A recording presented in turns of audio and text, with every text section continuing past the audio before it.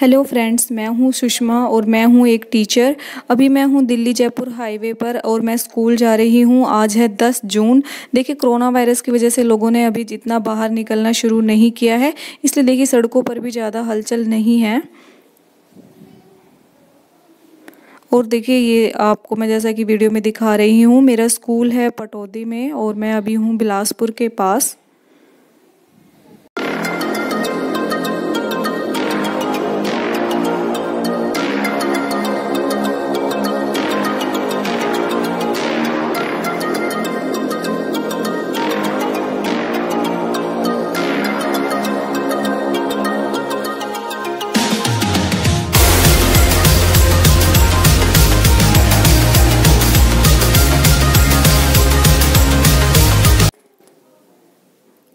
अब मैं पहुँच गई हूँ पटोदी। जी हाँ ये वही जगह है जहाँ के सैफ़ अली ख़ान नवाब है। यहाँ पर देखिए, आपको बहुत हलचल दिखाई दे रही होगी। रीज़न, यहाँ पर सब्ज़ी मंडी है और आसपास के गाँवों के किसान यहाँ पर अपनी सब्ज़ियाँ बेचने आते हैं और जो सब्ज़ी बेचने वाले हैं, यहाँ पर सब्ज़ियाँ खरीदने आते हैं। देखिए, मैं आपको अच्छे से दिखा नहीं पा रही हूँ, लेकिन यहाँ पर हमारे एरिया के कंपैरिजन में काफ़ी हलचल है। देखिए स्टूडेंट्स तो स्कूल आए नहीं हैं इसलिए मैं अकेले बैठकर अपना जो पेंडिंग वर्क है, उसे कंप्लीट कर रही हूँ।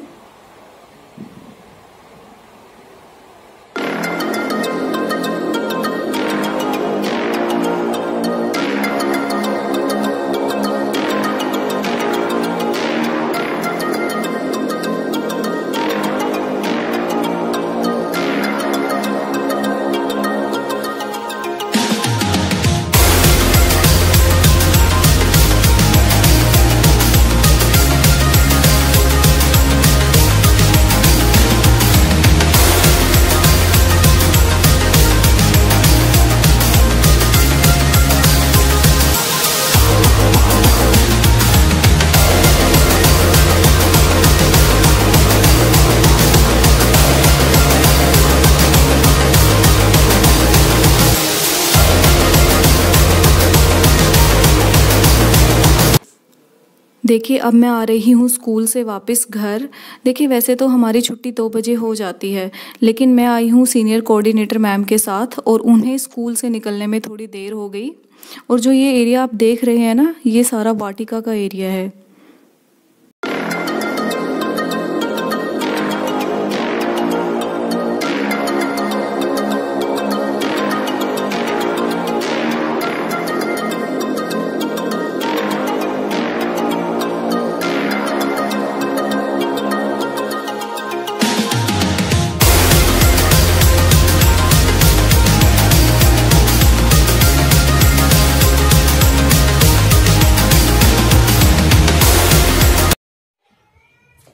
एवरीवन टाइम हुआ है 5:30 और मैंने अभी स्कूल से आने के बाद शार लिया है और खाना खाया है। देखिए जैसा कि हम सभी को पता है कि हमारे स्कूल कोरोना वायरस की वजह से बंद है और अब ये कब खुलेंगे ये भी कुछ नहीं कह सकते। देखिए हमारे स्कूल 20 मार्च से बंद हुए थे और मुझे तीन दिन रात को अच्छे से नींद भी नहीं आई थी 19, 20 और 21 मार्च को। रीजन कोरोना वायरस का डर। लेकिन उसके बाद मैं डॉक्टर रॉय को फॉलो करती हूँ यूट्यूब पे। मैंने उनकी वीडियो देखी और आप बिलीव नहीं करेंगे, उसके बाद मेरा डर एकदम से चला गया।